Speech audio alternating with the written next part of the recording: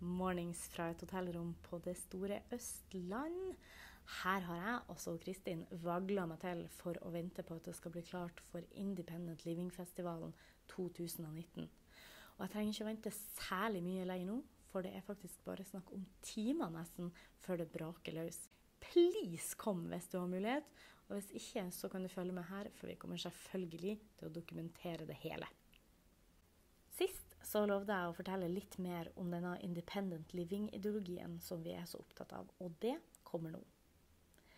En ideologi det er det samme som et tankesett eller en måte å se verden på.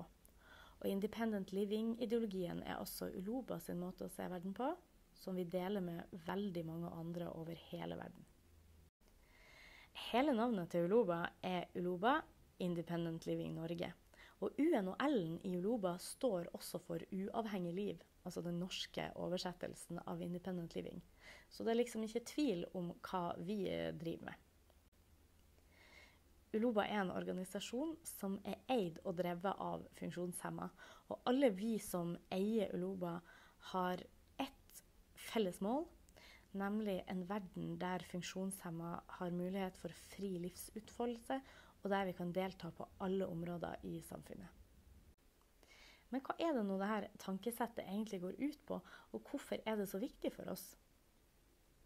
Og Vibeke, generalsekretæren vår, sier det veldig godt i en annen video, der hun oppsummerer med at det handler om at funksjonshemma ikke først og fremst er syke mennesker som trenger omsorg, men borgere på lik linje med andre, med rettigheter og plikter. Independent Living har fire viktige prinsipper, og dem kan jeg gå kjapt gjennom. Det første prinsippet er at vi sjøl skal være dem som avgjør hvordan vi vil bo, hvor vi vil bo, og akkurat med hvem vi vil bo. Det er ikke noen utenfra som skal bestemme det for oss. I tillegg så er det viktig at vi som trenger assistanse i hverdagen, sjøl får avgjøre når den assistansen skal skje, sånn at vi ikke må legge opp vårt liv etter et system, og når det er enkelt for det systemet å gi oss assistanse. Eh, det prinsippet heter avinstitusjonalisering.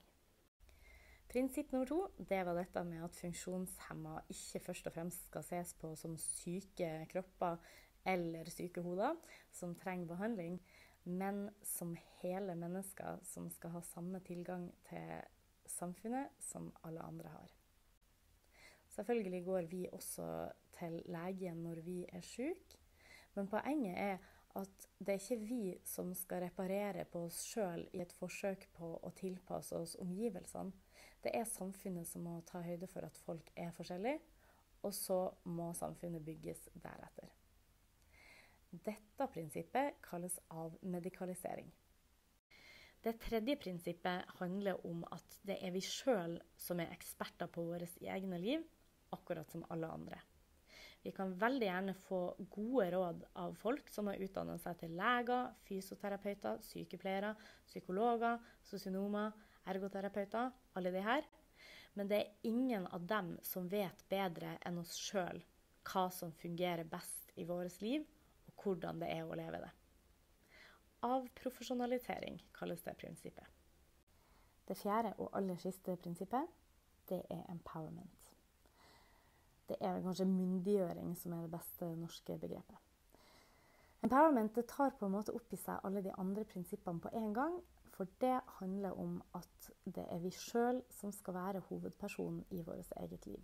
Tradisjonelt sett så har vi som fungerer litt annerledes enn det som er forventet, aka funksjonshemma, måtte finne oss i at andre tar avgjørelser på våre vegne fordi de tror de vet best. Den makta, den tar vi tilbake. Det kalles empowerment. Det er et kjempeviktig grunnlag for å leve uavhengige liv.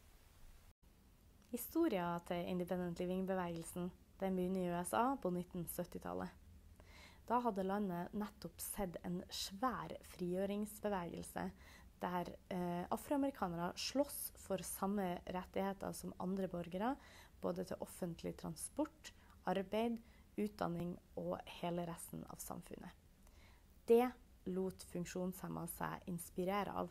For de mangla også mange av de rettighetene som afroamerikanerne hadde slåss for. Amerikanske aktivister så at funksjonshemma kunne oppnå de samme rettighetene som resten av befolkninga hadde, men at da måtte samfunnet endre seg drastisk, og funksjonshemma måtte sjøl få ta styringa over eget liv ved hjelp av personlige assistenter. Sånn. Nå har jeg fortalt dere ca. alt jeg kan om independent living-ideologien. Håper det var nyttig. Håper også at vi ses snart. Dere vet hvor. Nå har jeg sittet så lenge og skravla at jeg har blitt for sein på jobb, så nå må jeg bare stikke. Ha det!